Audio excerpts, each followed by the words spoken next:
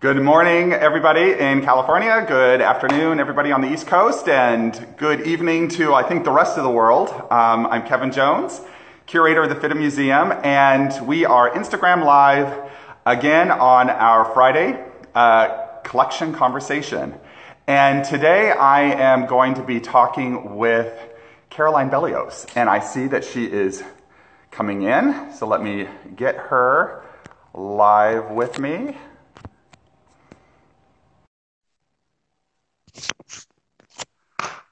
We're going to be talking today about this stuff right here. oh, Carolyn. Hello, how are you? Fine, how are you? I'm well, thank you. Um, you're just sitting right over here from me, right? You're not really kind of across the country, are you? Of course. It's just we decided we wanted different backgrounds. That's right. That's right. Well, welcome to the FIDM Museum Collection Conversation. I'm so glad you could be with me today to talk about something that is a great passion of yours, which is all things hair. hair work. That's right. Yeah. We are fortunate uh, to have a really, really wonderful collection of hair work jewelry uh, and some other things that we're going to talk about today in the FIDM Museum collection. And I just want to say at the very beginning, um, we, we have lots of images to show, so we kind of, I've got to get, get this going. But all of the jewelry that you are going to see today uh, was generously donated to the FIDM Museum uh, now about 11 years ago by Andrea Tice in memory of her mother, Carmelita Johnson, who, like you, Carolyn, um, had a really great passion for hair work jewelry. And she collected for more than 30 years and uh, put together a really astounding collection. I mean, just kind of almost like every single type uh, of hair work that, that is, was made uh, in, in the 19, actually, eight, late 18th century, 19th century, and the early 20th century. Uh, so I'm excited to get to kind of go over some of those today. Now, I do want to do a little intro about Caroline.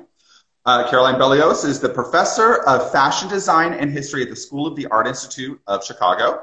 So she is coming to us today from Chicago. Uh, and you are currently an MA student in the Department of Visual and Critical Studies. Uh, uh your current research ranges from the 19th century hair jewelry, embodiment, and the transformative nature of touch which is extraordinary. And especially, I mean, so relevant today where none of us can really seem to touch each other. It's going to be really nice someday to give you a hug physically. Um, and also the potential of fashion in the museum space, memory, uh, memory space, and the platforms for inclusivity, which is fantastic. Um, with colleagues in the city, uh, Chicago, Carolyn is building the Chicago Fashion Lyceum, a new collaborative body for fashion discourse, which is very exciting. And I'm glad we are going to have a discourse today. So we put out um, an announcement that you're going to be visiting with us today, and some of our viewers came back with questions. So I thought before we dive into the actual images that we maybe set a groundwork for what hair work jewelry is, how it was developed, and so forth.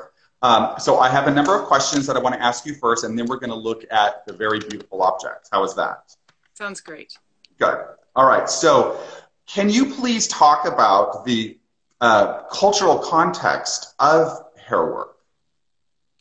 Well, hair work, hair has been important in many different societies, communities around the world um, as a source of adornment for, well, since, as far as we can tell, since the beginning of any kind of history or artwork that we have if we look at the the tiny statue of the Venus of Willendorf, it is hypothesized that perhaps the what's happening on the top of her head are the the curls of her hair, or it could be braided hair that is up mm. there actually.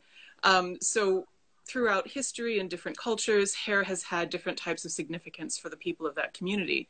I'm specifically looking at hair work that was happening in the United States and in England and in Europe in the 19th century, which was based on a tradition of many hundreds of years in Europe of using hair as a way to remember people who were deceased. So it was very important in a lot of European societies to think about death as a reminder to be a good person while you were alive. So this idea of memento mori, um, it's a humbling experience to think about death while you're alive and so you often see in art, you'll often see skulls that are incorporated in there and other mm-hmm. reminders of death. And so hair was also incorporated into some of these objects of jewelry that people would wear both to think about the living and the dead, and then also to have a way to stay in contact, to stay in physical communication with someone that they had loved who had departed. So, this idea of touch, um, this idea of hair existing in in the same form after we die the rest of our our external body parts will eventually decay. But hair has a chemical composition apparently that it could last for um, thousands of years. We've we've uncovered burial sites where hair is still present on the body and still flexible and and living in a way. It's not alive. But it still feels to us as it did when it was alive and so that was a very powerful thing for people that even after you died there was a part of your body that still held your essence and still held the significance of being alive that you could keep with you to remember someone. I think it's really interesting. Now you and i both have come uh, into this when we talk about hair work or we're showing hair work jewelry that that some people are absolutely fascinated by it you know just really interesting. And they kind of move forward to look at the the details of, of the work and then others literally step back no. They are creeped out by it. They think it's it's just the weirdest thing. Yet I think it's interesting at the same time that most people have hair on their head mm-hmm. or you know on, the, on their body. I mean, I shaved this morning just for you, Carolyn. and you know, yeah. So it's something that we live with daily. Yet some people are very creeped out by it. When I suppose it has to do with somebody else's hair because it is so tangible of the body itself. I think that there are a number of reasons that hair work itself and also hair off the body became something that in a lot of contemporary culture we would consider gross or disgusting. Because I know a lot of people, I show them something and I'm like, oh, look at this beautiful thing. And they're like, oh, that's beautiful. And then you tell them it's made out of human hair. And all of a sudden there's, you know, there's a revulsion that happens. Yeah. But not everyone, like you said. Um, a couple of the things that changed this was really hair, like I said, for hundreds of years in Europe was used as this kind of a memento mori. In the 19th century, it started to become a lot more prominent. Um, part of that reason for the prominence was that when Queen Victoria Queen Victoria's Albert died, she went into a very long period of mourning, and everyone in the country had to mourn with her. So mourning right. became fashionable, it had to. And so hair became a part of that conversation and that presentation of yourself. In the United States, right around the same time, within 20 years, we were embroiled in the Civil War of the United States, mm-hmm. and thousands of people were dying. And it was um, at, at, in a small amount of time. And it was a, a confrontation with death um, at a grand scale, a concentrated scale that the country really hadn't dealt with before. And that's when the first practices for embalming started to happen and become more advanced, so that people could, bodies could be preserved on the battlefield and then shipped back home to their families who would want to bury them. So once again, in this country um, that I'm in and you're in, um, mourning became for this, um, and this is definitely a white society practice that we're talking about here. It's a very European Anglo influence that's coming in. Um, one of the ways of mourning would be the wearing of black clothes and then incorporating the hair into jewelry of somebody that you had lost. But it wasn't only dead people. Um, people in the 19th century also kept locks of their lovers in lockets or braided and hidden in a ring um, as a way to be close to somebody when they were far away from you. So if you right. had a lover and you couldn't see them every day because you didn't have, oh, I don't know, Instagram Live, um, or you didn't have some other way of visually communicating with someone, all you had were letters, um, having a piece of their body that you had on yourself, and whenever you wanted to think about them, maybe you had a tiny miniature that had been painted or you'd drawn a sketch, but to have a little bit of their hair gave you that really important personal connection that you couldn't have any other way at that time. Well, even you know, mothers and fathers today. I mean, I mm-hmm. probably your baby book. I know in my baby book, my mom, you know, clipped a little Snip. lock of what at the time I had very blonde hair, and you know, and it's still there, and that's kind of that charming aspect. But maybe right. it's a little more innocent because it's children um, mm-hmm. versus you know an adult. Okay, I want to ask. So, um, how did one learn to do this? And we we do have to do this quickly. How did because we have a lot of photos. How did one learn to do this? And also was it always professional? Was it, you know, happy hands at home? Uh, how was it done? So this was something that um, in when it was first incorporated into jewelry was generally done by the jeweler. So you might send a lock of hair and the jeweler had professionals who would braid it and then insert it into the locket or insert it into the, the pin or the, or the ring. Um, later on, when it became really popular in the 19th century, suddenly there became this idea that, okay, if I'm going to send away a lock of hair in the mail to a stranger and they're going to create this very important um, object for me out of this hair of someone I love, how do I know they're sending my hair that I sent them back to me? It could be mm. somebody else's hair. And sometimes it was.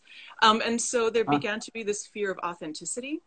And obviously, needlework and other forms of textile work were very prominent within women's societies in the 19th century at home. It was a very much part of your, your fancy work or things that you could be accomplished at, or even things that you needed to do to earn a living um, were practiced at home by women.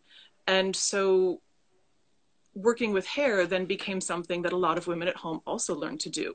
And manuals were written, and women's magazines at the time would print articles for you on how to do this. And so when they started to print those manuals, they were with the um, declaration this way you can guarantee that the hair that you're using is the hair that you think you're using and that you're memorializing and touching the person that you love. Um, so it was happening professionally and then it was happening at home later on. Um, and some of the more complicated pieces, definitely you can see where there there have been worked professionally, but then home people became very adept. And in addition to hair jewelry, there are hair wreaths. And um, you know, see it right there. Um, oh, right. And those were very often made at home because you're making tiny little flowers out of hair um, with a process called GIMP work. And you, you can collect hair from all of your friends and all of your family and then put them all together in one wreath. wreath. Sometimes they would be marked each flower with a tiny piece of paper with a number. And then you'd have a chart. And so if you looked at number 32, I could look like, oh, that's Kevin's hair. That's that flower right there. And they became like little autograph books or little photo albums or little family trees by collecting the hair of all the people you loved. And every time you looked at the wreath, you know, your heart was full of happiness for that, I hope. Well, why don't we look at some, shall we? and the thing is, uh, um, what we're going to show today are really different types of using hair. I mean, it's kind of astounding the creativity and what people came up with to, to do this. Now, I have to admit the first image is a little blurry. I'm sorry. But this is actually a late 18th century woman's ring. And you can see that it has what looks like a weeping willow, I'm assuming. Yes. And so Which, weeping willows, obvious, well, maybe not obviously, but in um, American and European culture, weeping willows were symbols. They looked like they were weeping, so they're crying, so let's associate them with mourning. Um, and so very often they're a motif that you see on rings, they're motifs you see in jewelry, they're motifs you see in embroideries and on tombstones. Um, this idea of, and in cemeteries, you see actual weeping willows there.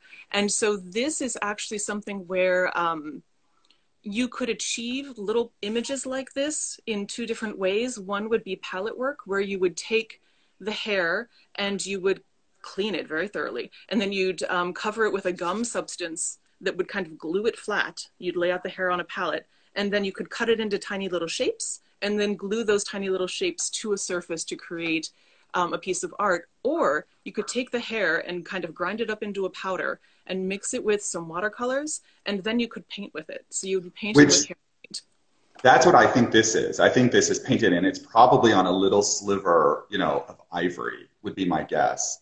A little and, sliver in the ring, and then the painting of the hair on top of it, and on top of it, right? Because a lot of hair has some kind of a brown tone to it. All of mm. these painted pieces tend to look like sepia pictures. Right. Exactly.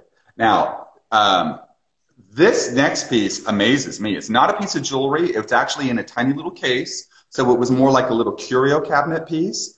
But um, no kidding, it's a, and it talk about a sepia scene. Here it is. It's amazing. It's amazing. And so you, I mean, if when when people go to the FIDM Museum website, and hopefully there will be some larger images of these that people can look at, um, you can you can see in there how finely uh, how fine the brush must have been to have painted these tiny scenes with with this pulverized hair. And actually, this one's not painted. This is embroidered. Oh, my this gosh! Oh, actually fantastic. embroidered hair. So let me get closer to it. We're gonna get. It, here I am, like leaning into my phone here. yeah, right. It's re- so really astounding. You, you, you have to look at this under, you know, a magnifier to really see because they're literally, you know, sewing with a single strand of hair. And Kevin, will you be able to make these images available later? We will. We are revamping okay. our entire website right now, and oh, we're hoping to launch our, our brand new, shiny, sparkly website uh, at the end of this year. And we will be dumping yet more and more and more of our um, object images into the database, PastPerfect, that people can search, definitely. And honestly, I did not check to see online how many of our hair work pieces are in uh, are available online because we have 300 examples. Um, so it's a very rich resource to, to dive into. So, okay. With the embroidery, as you're bringing up the next image, with the idea of embroidery, hair is a textile. Hair is right. a fiber. Um, you can use hair for embroidery. You can use hair for weaving. Um, it works the same as wool. You know, wool from sheep's, they're just hairs that we're using as a fiber. Um, it's just that hair from sheep's, the wool has a very different set of properties to it than a lot of human hair does. And so you can create different things with it. Um, but hair is a great thing to stitch with. It's so fine. And so Yeah, exactly. I mean, it's just like any kind of. Okay, um, what do you got next? Yeah. Um, so I, this is one of my favorite pieces. It's so charming. It's a little brooch in the shape of a harp. And in the shape of a harp, and if you can see, is it the flat braided in there in the um mm-hmm all of this here going down the little curvature and then the, the this area of the harp all of that is inset braided hair so this is the the earlier tradition and it did extend through the 19th century that that we would have seen a lot of in Europe where people would have braided hair into a flat textile and then inserted that textile into different shapes of pins or different shapes of rings and necklaces. Um, and the, the shape of the object could be significant to the wearer or it could be significant to the person whose hair is being used. Um,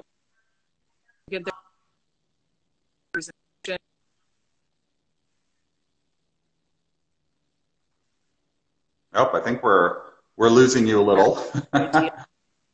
right. Singing in who were dead was very important.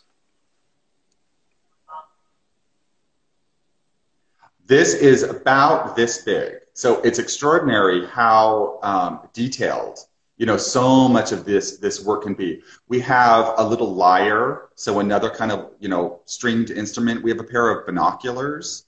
I mean, it's really, really crazy. And then we also have um, um, initials.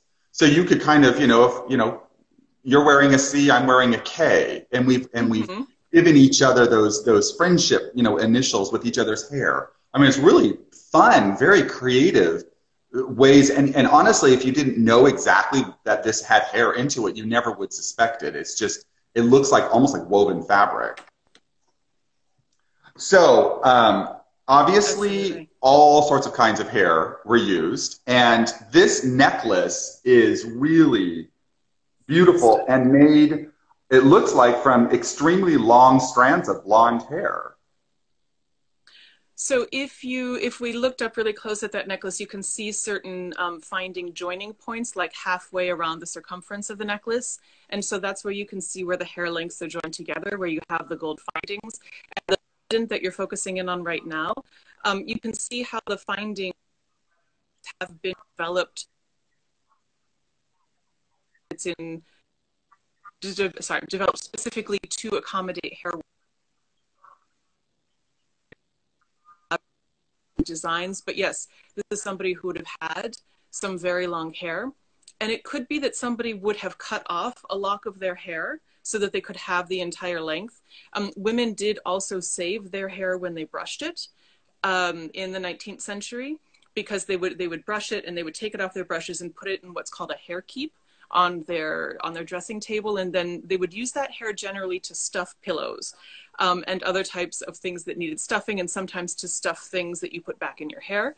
Um, but they wouldn't typically use that hair to do this kind of hair work because hair has a texture to it um, it has little scales on it and if you put the hair in different directions where it's mm. the, the scales are going in different directions it can cause issues when you're trying to create something really fine like this got it so here we have blonde. Now, the guy, it's not just for women, you know, that we, we guys got into this too. And here is brunette hair. And this is a really elaborate man's watch fob. So this part is a little hook that would have probably hooked into either on his waistband or most likely onto into a pocket of a vest. Um, this would just hang down, you know, as as fun decoration with you know a good luck horseshoe, and then the the chain work with with the um, little hook here would have hooked onto the top of his watch pocket.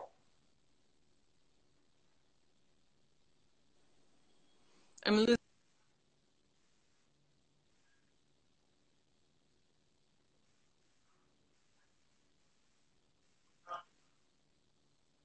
Oh, I think we're losing your feed.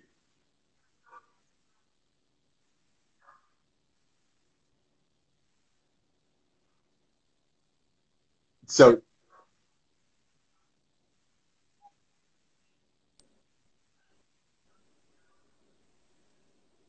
Are you still hearing me over there, Kevin? Yeah, I can hear you now. Okay. Is that you're using a woman's hair to make yep. this object that would be worn by a man. And generally, of course, it would have been your wife. And in the 19th century, it was also the time period when watches actually became um, de rigueur for men to wear. And it was because 19th century is almost when our modern um, European idea of time was was solidified, and it's because of the train schedules. All of a right. sudden, train lines are set up. You need to know that it's 12 o'clock in London and it's it's 12 o'clock in Sheffield at the same time, so that you know what time your train leaves London and arrives there.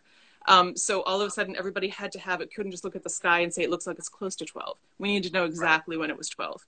So these precision objects that men all of a sudden became saddled with, like you had to be, your your life was now measured out in this object that stayed with you all of the time, um, which kind of leads to our our culture today of of packing in everything into these moments of time that we we allot for ourselves. But you would have this watch constantly tethered to you but it might be tethered to you by your wife's hair. And so right. you would and have your this, wife with this, you. Yeah, this, this, and around the horseshoe. That's all the hair work. And, and so it's incredibly detailed. I mean, the the the the braiding structures that were done were it, it, phenomenal. I mean, just incredibly complex, and must have used a great deal of hair because you think yes. of having to braid all of that, and it would as as it was being the hair was being braided, it would you know get shorter. So I think it's interesting that, that you. Uh, yeah. I think it's interesting you talk about time because men at this time were the ones that were out in the world generally. Mm-hmm. They were it was business. It was like you mentioned timetables whereas women were more within the home, representing the home, children. Now, of course, we have sporting fashion coming out uh, this later this year uh, and and next year uh, the exhibition, uh, which talks all about women being outdoors. So no, women were not just inside all the time. But I think for developing such elaborate aspects of, di- of displaying time for men, because I don't know this for women, I have never seen what was determined to be a woman's watch fob, um, specifically, uh, especially from the mid 19th century. So, okay, we got to keep moving on. Okay, as we're moving on, one more thing is that that yeah. actually shows time for women as well because of the time that it takes to make the braids. And right. so, whenever you see textile work, that is a record of women's time. And that's part of the research that I do too, is using the objects that we have um, that are part of textile history that are the diaries of women because we don't have a lot of written records from women and right. the percentages that we do from men so the diaries that we have from women are these things that they made um, that they painted that they embroidered that they wove um, all of the fancy work and handwork that women did that's where their time is measured and so if it was a woman who braided this for her husband which i don't think so because that looks super fancy like you sent it away somewhere mm-hmm. um, the record of time is there shown in the work of braiding and making also. So it's this beautiful synergy of time in, in multiple Absolutely. different areas. Absolutely. And that in no way was it less than anything of, of of, of what a man would go out and, and do this this work. And what's interesting is their work is what survives, mm-hmm. which we get to see, enjoy, be in awe of, be creeped out by um, today. You know, more than 150 years later, it's amazing. Now, one of my favorite pieces, also, I say that a lot in our collection because I have pieces. You can have but, all the favorites. so we looked at blonde hair, we looked at brunette hair. My favorite, again, is a blonde and brunette plaid bow. So charming, so amazingly charming. So this type of work here and what we've seen with some of the other work, this would have been done on what's called table work, where you have a round table-like structure with a hole in the middle, and you would insert a kind of a rod in there, and strands of hair would have been off the edge of the table, hung um, and weighted with some kind of a bobbin, like very much like lace making. And so you would weave the hair around a tube that was inserted, inserted in the center of the table to create these hollow tubes of hair that then you could turn into little bows, or you could cut the tube and shape it around a wooden form, and then you could boil it so that it would hold that shape, and you could bake it so the hair would be as though you were setting it with a heat, with a curling iron, that you could set it in that shape. So that's how you get that round shape with the teardrop at the bottom. Um, but here you have to also then consider in your weaving pattern to make sure that you're following a tartan pattern, and you have to have a friend who has blonde hair if you're a brunette, or or um, the other way around. But I think this is magnificent to think about the, the textile connections here of hair to be able to create tartan with your hair work as well. I mean, who thought of this? Come on. I, I'm not clever enough to have thought of doing, you know, blonde to brunette plaid hair, right? and what I love about um, these tube pieces as well is that they are so incredibly lightweight. They're, they're made of they nothing made of nothing. They are. It's they are. Air. And the thing is, they're really spongy too. You know, it's it's like they're like little little bouncy sponges. It's it's really they're amazing to feel. They are exactly. Um, okay, so we we uh, I wanted to show again because this is this is something you alluded to earlier um, when we were talking about just how to make hair. Um, here is mm. brunette, red, and blonde hair in this fabulous brooch that has been kind of cut and coiffed. and so they've been shaped into these Prince of Wales feathers. And, and the way that they would do this is they would take the hair lock and they would clean it very thoroughly. And then they would take a tiny, tiny, tiny curling iron and curl the end of that hair lock. And then they would take that lock of hair that had been curled and they would put a gum on it and they would kind of glue it down to a palette and then they'd put something heavy on top to flatten it and let it sit. And then after it had dried, they'd check on it and see if it all looked appropriate. And if they needed to wet it a little bit to move it around a little bit, they could. But then they could put more gum on top and then, you know, let it dry again. And that's how they would create these Prince of Wales feathers and then some other types of, of work where you see the hair, but the curls are kind of flat and look as though they've been stuck down to the surface but I just love the fact that they would have like mini curling irons to create those tiny curls. This is a tiny piece here. Seen, have you ever seen one of those curling irons? No, I haven't. I'm assuming I, I mean, any piece of metal, you know, but I don't know. Yeah, right, right. And all of the little foliage and these flowers, they're also hair work. It's all, you know, been glued and laid down and then cut out and then applied to whatever. I don't know exactly what this background is, but it's really fantastic. It's really amazing. So, go through all those steps to put this whole jewelry piece together. And the thing is, you know, most likely, and correct me if I'm wrong, Caroline, that this was probably either all friends or family members, mm-hmm. right? Likely. Okay, so this isn't this is not mourning necessarily. No. I mean, it could have been, sure, but not everything that has to do with hair work is mourning. It, like you said, it could be friendship. Also, we have a really great piece that is definitely kind of family related. And this, this, it's about this big. It is really tiny, but um, it is this brooch, or excuse me, it's a pendant with all sorts of different hair that's been plaited. That's fantastic. And so you could have an object like this with all of your family in it or all of your friends in it. Um, and each one you could you could then remember by looking at this hair and that would be really simple to make at home to do those flat braids and then insert them in there you know, so were these types of pendants available for sale that, that a woman or, you know, a child or a man would know like, okay, I'm going to collect my family's hair and then have that set in. So could you buy these kind of elements yourself? Oh, yeah.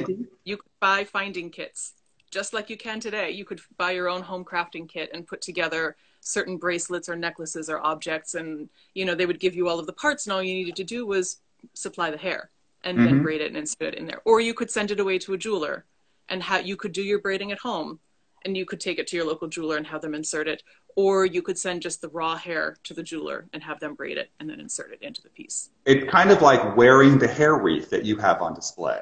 Exactly. Exactly. Yeah. Keeping that okay, close so, to you. So what's neat also about this is on the back, and this is minute. These little these little these little roundels are no more than like three eighths of an inch. I mean, they are abs they're just tiny. Every person's name of who had the hair is on the back, and it's dated 1845. That's fantastic. And what a wonderful record so that we actually know whose hair it is. So often we see these hair pieces and we have absolutely no idea who the hair belongs to.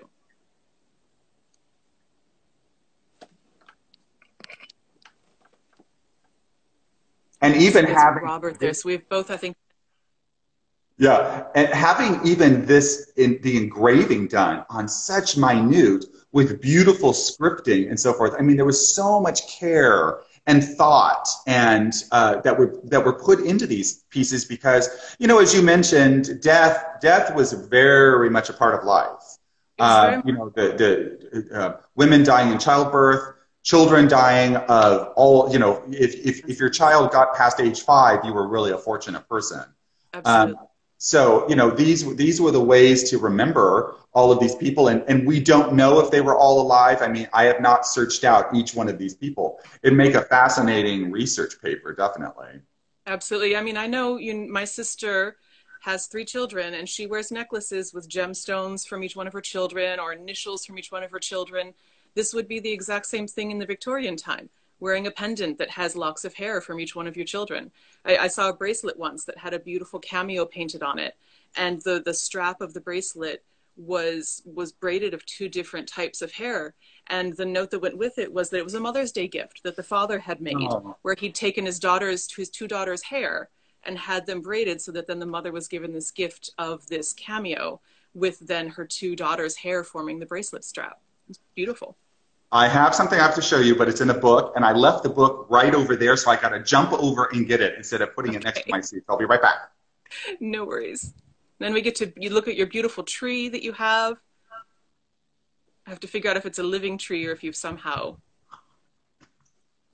I'm back. You're back. Fantastic. So this is going to show up backwards, but this is the fabulous catalog that Christina and I did in 2011. And there are a couple of hairwork pieces that I want to show off that came from um, uh, Andrea Tice uh, via her mother. And they're unlike anything that I've ever seen before. I've never seen other examples. And I wonder if you have. This is one of my favorites. You've heard that before. this uh, is a miser's bag made of, I guess, netted human hair netted human hair. It's very strong, like I said. I mean, it would make a perfect material to make something like this out of. Um, so for people who aren't familiar with what a miser's bag is, it's a, a kind of a long pouch that has an opening in the center and a ring around the middle and or two rings. And so what you do with the miser's pouch is that you you slide the rings to make the opening accessible, and then you can put your coins in there, and then you slide the ring down so it kind of scrunches up um, the area of the bag right above where the coins are and then that holds them in place. And so it's kind of these two lobes that you're carrying and they were often made of net so they're very collapsible. Um, and then they can expand to accommodate whatever it is that you put in them. You can see the scale here which is great with the hand. And then i also love how you have it made out of a different material there I'm glad you like that because you know I, I, I, just it's the first thing I thought about when Andrea donated. In fact, I borrowed the bag first for an exhibition that I did on mourning um, a number of years ago, and I thought of those mitts. You know, they're so common with all that. You know, and it's in white or cotton or black cotton or something. And um, I thought, wow, that's so it just echoes that. And I wonder if the woman who actually um, had that miser's bag you know, also wore those netted mitts. Netted admits. I okay. I'm scanning real fast to yes. Bring up now, uh, Kara. Have you ever seen another miser's bag?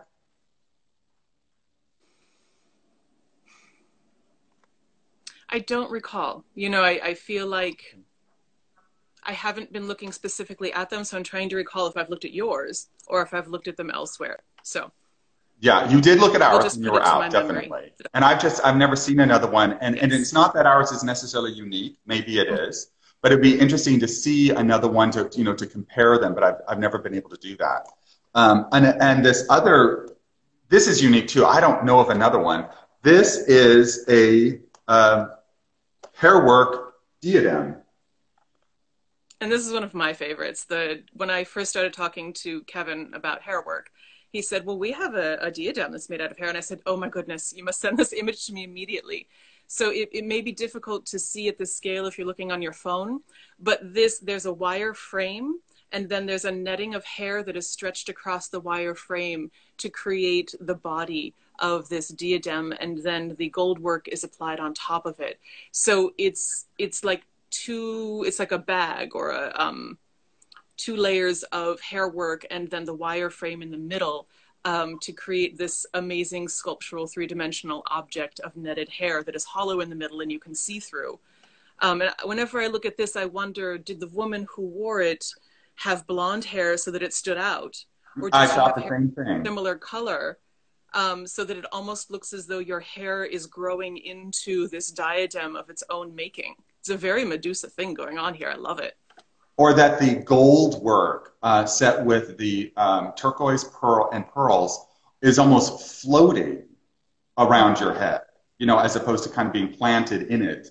Uh, yeah, I've, I've wondered that too, because if it were, if she were a brunette, it definitely would have blended away. Absolutely. And so, Kevin, I'm kind of glancing at the comments, and somebody wants to know what the name of this book is. Oh, it's called Fabulous, backwards right now, but it's fabulous. And um, this was published in 2011 by the FIDM Museum, and you can uh, purchase it through our museum website, which, but you can't do it right now, unfortunately, because our museum shop is closed. Uh, because our galleries are closed due, due to all the situations that are going on.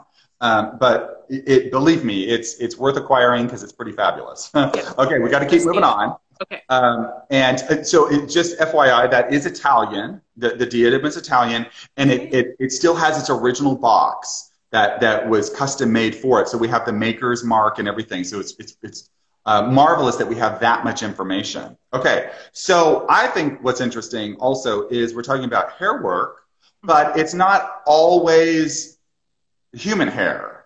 No. And here we have a little suite of jewelry, a, a parure, uh, a bracelet, brooch, and earrings. And I love that the earrings because they're fuchsias. And so this is amazing. And so very likely this is made out of horsehair. Um, yep. And because hair work became so popular, you might not always have access to human hair, but after a while, the hair work became so popular, it was the look of the object that was really important, perhaps more so than it was made out of hair of a loved one or hair from your family. And so people used other materials that would have the same properties as hair. Um, and obviously, horsehair does. It's stiffer though, and you can feel it. Um, and so you can use horsehair though in the same way to weave objects that you would adorn your body with. And horsehair is still used in many cultures around the world to, to weave into objects that you might use in your home or that you might use for your body as well. But to see it used this way is really um, is really delightful because actually the, the patterning of what they're doing is slightly different from what we see with the majority of human hair work. And, and I'm assuming the horsehair was it boiled how how did they get this the the, the kind of uh, whitish mushroom kind of color out of this because it doesn't seem like it's a natural horsehair color really i mean i i honestly don't know a lot about horses but perhaps it's a, a from a palomino i don't know that's just a guess okay. off the top of my head um, but that's a great question if we have any horse people out there let us yeah. know could you, could you get a horse's mane or tail in this color um, or would you have to bleach the hair in some way? Right. To That's what I always wondered. Mm-hmm. With humans, um, white hair was very prized. If you could get enough white hair to make a piece of jewelry out of, that would be really wonderful. Um, and so you'd have to ask your grandmother, you know, if she'd let you cut some of her hair if you wanted something to remember her. Or after she died, you could ask to have a piece of her hair that you could then transform into something. Mm-hmm. Well, and moving on to another friend. Um, this is specifically for Christina, who is the associate curator of the FIDM Museum. We don't know if her her name is Fifi or his name is Fido. But we have this adorable brooch with the family pooch. People so, love dogs even in the Victorian years. Exactly. And what's really great is that you flip the brooch over and oh, that's there's fantastic. the dog hair. That's fantastic.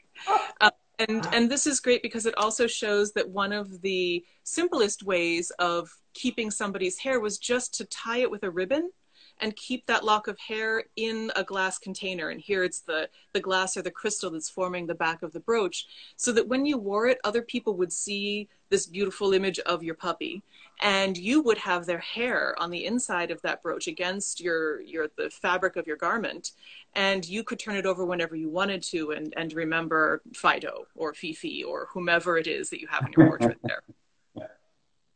Maybe it's Caroline or Kevin. Could be. Fluffy. Fluffy, exactly. Okay, so this also is a fascinating piece to me. We have everything from you, you've seen, you know, earrings and brooches and pendants and bracelets and I mean, it, it, the collection is incredibly rich. We also have a, a lot of rings. Um, this is a fascinating ring because honestly, if I didn't know it was a it was from a hairwork collection, and I'm looking at it like, oh wow, this is a really beautiful gold ring. It's kind of in the shape of a of like a, a belt with a buckle around your your finger. I wouldn't necessarily understand that there was hairwork until it sprung open, and all the hairwork is underneath.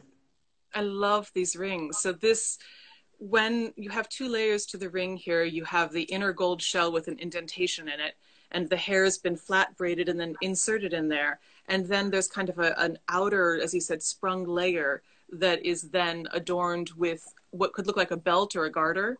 Um, that's that then mm. when it hmm. closes around, it entirely encases the hair. So I could wear that ring, and you would never know that someone that I loved, their hair, this memento, this love token was hidden in there. So it was something that was just for me. Um, and I could look at it whenever I wanted to, but I could keep the ring on all the time. And so i would have that constant connection to someone without having to make it public that i was sharing this.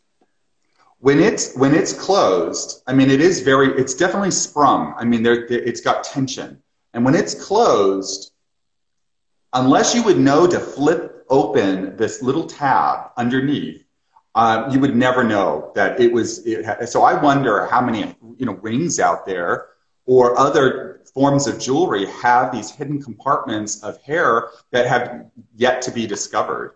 Absolutely fascinating.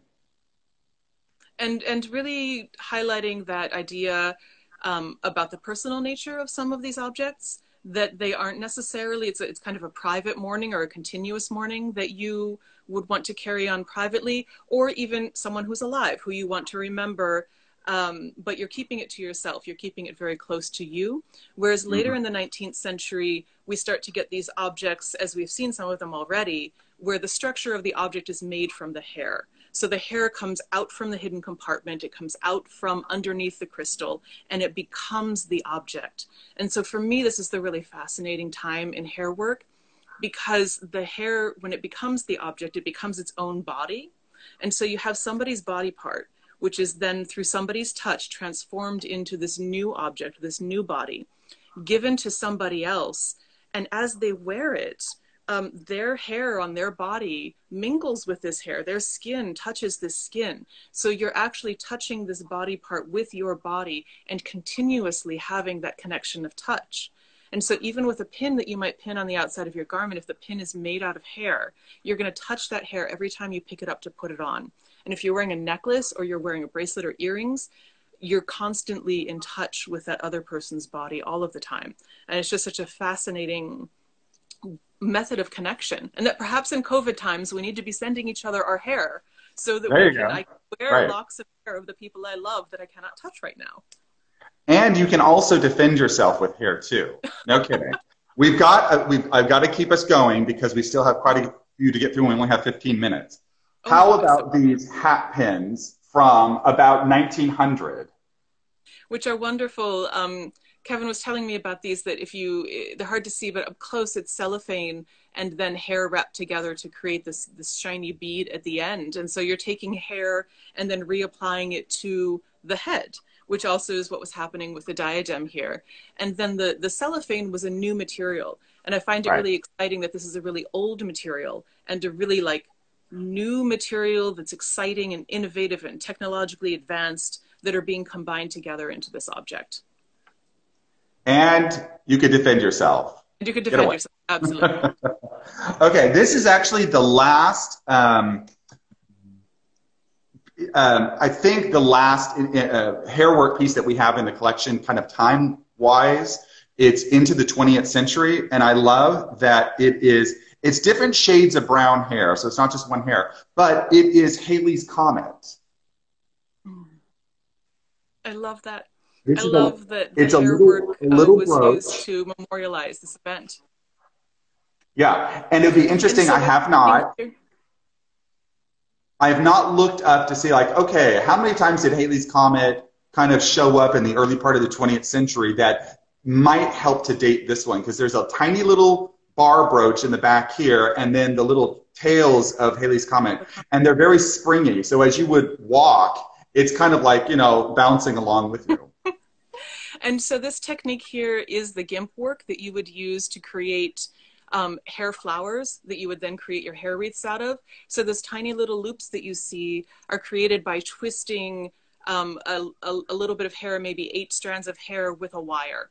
And so you, you wrap the wire with the hair and twist and move it a little bit and twist. And then you create these, this tiny set of loops. And then you can twist the set of loops to have them offset like that. This is a, a relatively simple technique um not i mean once you once you start doing it um Right. and then you can create these wonderful fantastic shapes and the wire holds the shape of the object for you Well, I've, I'm inserting something we did not talk about because I forgot about this, and, it, and you actually did mention it at the very beginning of your of talking about the, the different ways that hair was used. This is a pendant that is so charming. I can't stand it.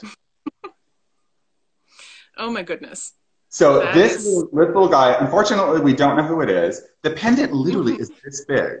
I mean, it's it's huge. I mean, it would have kind of really weighed somebody down. It's very large.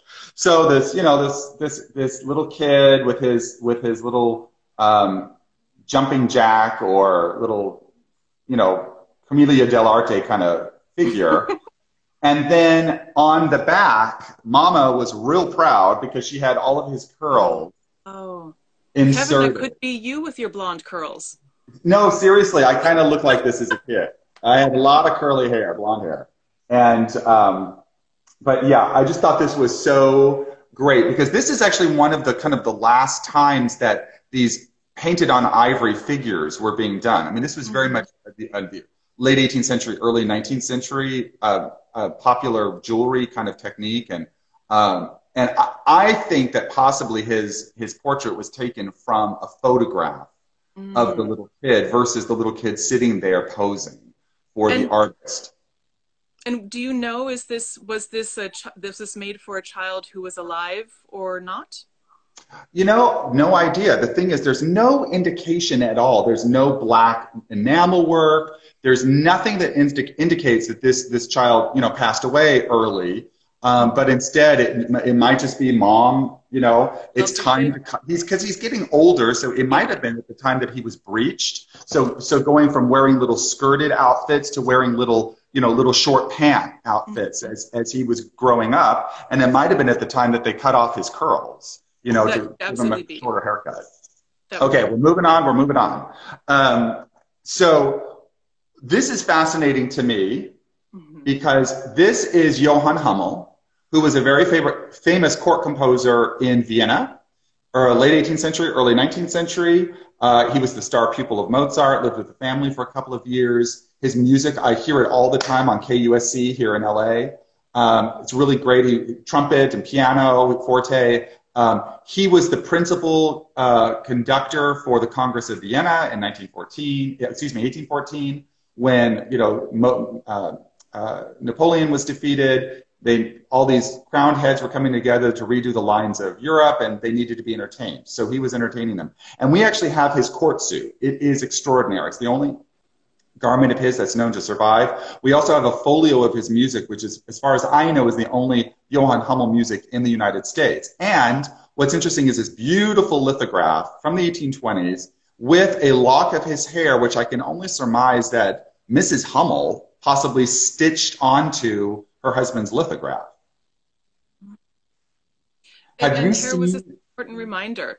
Um, I, I, haven't seen another image like this with the lock of hair attached to the image, but but very famously, when when famous people would die, they would have you know Nelson, Lord Nelson, famously had a lock of his hair cut off, and then you sometimes you see it all go to one person, and sometimes you see it distributed amongst a bunch of people who either were collectors or who loved the person, and so maybe this was done, as you said, by a person who loved them as a way of remembering them, um, and then right. later this is part of the for me the sad story about all of this hair jewelry.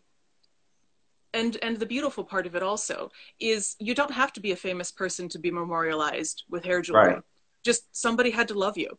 And if somebody loved you maybe they saved some of your hair and put it in a piece of jewelry and we see it today. And we may not know who that person is which is then the sad part for me but we know that you were loved and we know that somebody cherished you and that somebody wanted to be close to you. And so these pieces are beautiful to me because they talk about that connection between right. two people and how important um, people and bodies and touch and and being connected to each other really is. Um, i've also been collecting i love those. Oh my gosh so this is actually a gift from Ran, uh, uh, from Fran Kleibert a few years ago, and it dates to the early part of the 19th century. You know, 1810, 1820, um, and it's that kind of frisure, the, the you know would have been worn at the front of the head. You know, covering um, covering her real hair. Maybe this woman had straight hair and curly hair was popular, and so here she's wearing a little frizz that um, uh, would have been tied then around the back of her head and covered over by her other hair and then worn with a bonnet. Or as so often happens, when a new hairstyle comes in that requires you to cut part of your hair and you don't want to cut part of your hair, ah. these little things and you're like, look, I've got bangs, you know, and they wouldn't have called them bangs then. But you could have all of a sudden the most fashionable hairstyle without having to cut your hair. And if you didn't want to have that hairstyle every day, you just take it off and and leave it until your next ball that you have to attend, where you're really going right. to dress up. Um, one of my favorite pieces, and I did donate this myself. I, uh, it's one of my favorite pieces, it, and it's the only original Apollo's uh, coiffure that I've ever seen. Uh, this is, a, and, and I'm sorry, I, I have seen this exact in a fashion plate about hairstyles, and I don't have that to show today, but it is blonde hair that has been put into this shell shape. It literally is a shell, and it, and it has a convex um, shape to it as well. And the woman's braid, she would have braided her hair, would have wrapped around here, and then been secured with pins, and then maybe flowers and feathers and stuff stuck in. And so it's lacquered. So it, it keeps its shape perfectly. And then it's secured also with, with metal pins, like almost like bobby pins inside to help keep uh, its shape. It really is extraordinary. It's amazing. And it's also a reminder that sometimes when we look at these really fantastical hairstyles, especially from the 1830s, where they have the, the Apollo knots and the, and the what looks like the lacquered pieces that are there, they aren't necessarily spending 10 hours in a chair to get that done. You might just insert right. a hairpiece like this um, to be able to give of this to the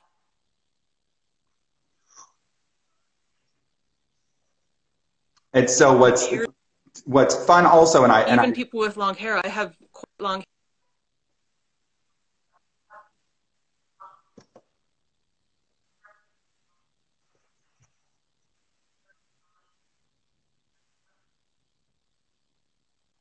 You're, break, you're breaking up on me.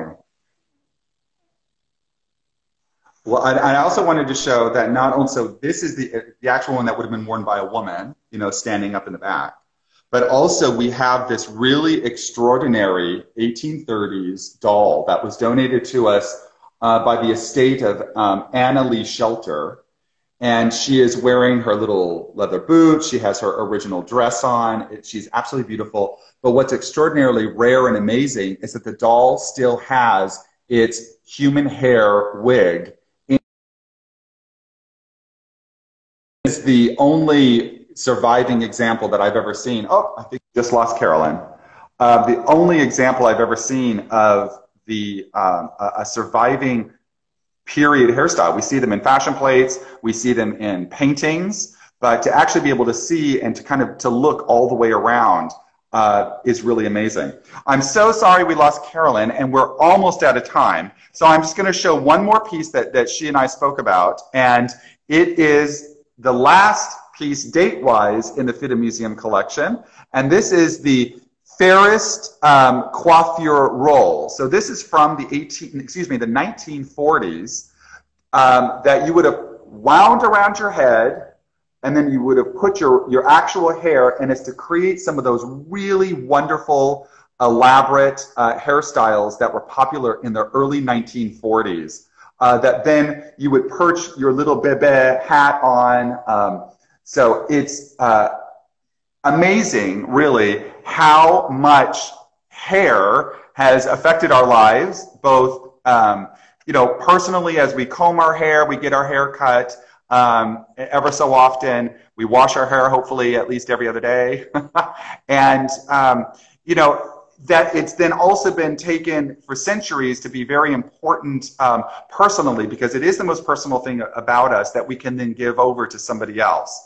And that sometimes it's very visual, that it is something meant to show off. Sometimes it's hidden. Um, and it's it's very secretive um, that only that wearer maybe knows about uh, the, the, the, hair in those concealed compartments. But then also aspects of presentation, such as seeing the painted pendants or the little photograph of Fido, um, you know, that then have the, the locks of hair or the, you know, the little tufts of the dog's hair that's been put, you know, it, it's, it just makes an aspect of charm. And, you know, like I said earlier, I'm really happy that my mom, you know, clipped off a little lock of my hair when I was a little baby. And it's in my baby book because I see it ever so often. And it just reminds me of that love, as Carolyn was talking about, that real love of, um, of, you know, a way that we can express that and save it because it is an aspect of the human body that can survive millennia. And uh, so I just want to thank everybody uh, for joining us today uh, on the FIDM Museum collection conversation. Uh, hope to see you again in two weeks. Everybody uh, out in the world, uh, please be safe, stay healthy, and please wear your mask. So thank you so much for being with us today. Bye bye.